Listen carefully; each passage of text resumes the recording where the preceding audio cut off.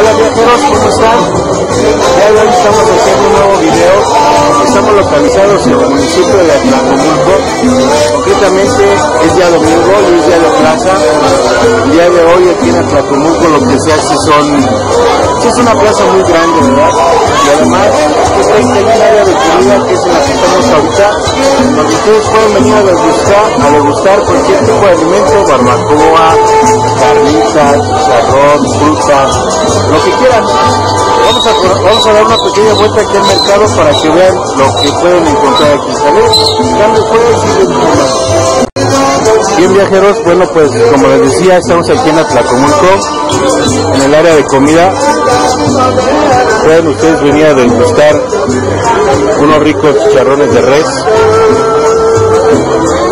O si lo prefieren también taco de plaza, queso fresco, guisados de diferentes tipos, charalitos,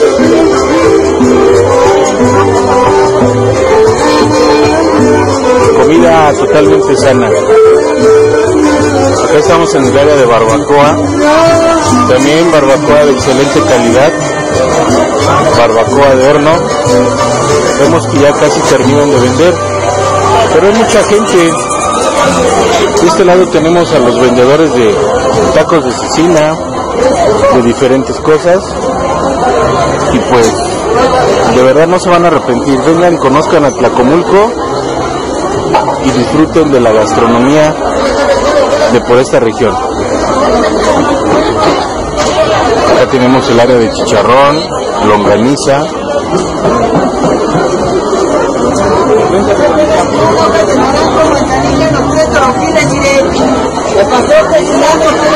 Una de las plazas más antiguas en la zona norte del Estado de México, la de Atlacomulco. Y miren, de verdad pueden ustedes venir aquí en compañía de la familia un día a desayunar o a comer. Para aquellos que amanecen crudos, también, también sería bueno que vinieran a darnos una visitada. Miren, aquí estamos en los tacos de, de cecina, longaniza verde, Miren qué rico. Cuando gusten pueden venir acá viajeros a Tlacomulco a visitar aquí a la gente de Tlaco. Miren. ¿Qué creen que encontramos al doble de Rigo Tobar? Se los voy a presentar.